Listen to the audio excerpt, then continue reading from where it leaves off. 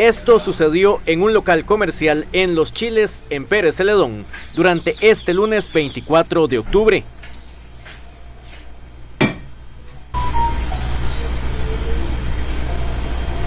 En el video se puede ver como un hombre amenazó al dependiente con arma blanca. El comerciante aprovechó un descuido del delincuente para evitar el robo en su negocio.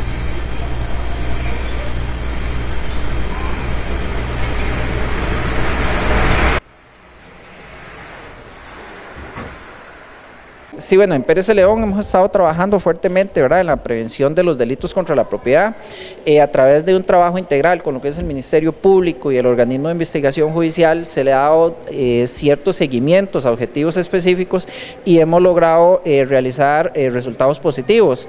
En esos días logramos detener a una persona la cual está siendo investigada por parte del OIJ y el Ministerio Público relacionado con una serie de asaltos a locales comerciales en el cantón de Pérez León.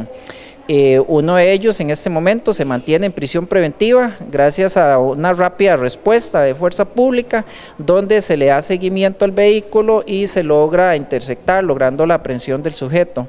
Eh, bueno, se hacen las diligencias, custodia de la vivienda, un trabajo que duró como dos, tres días, pero logramos eh, obtener una prisión preventiva. El hombre fue detenido minutos después.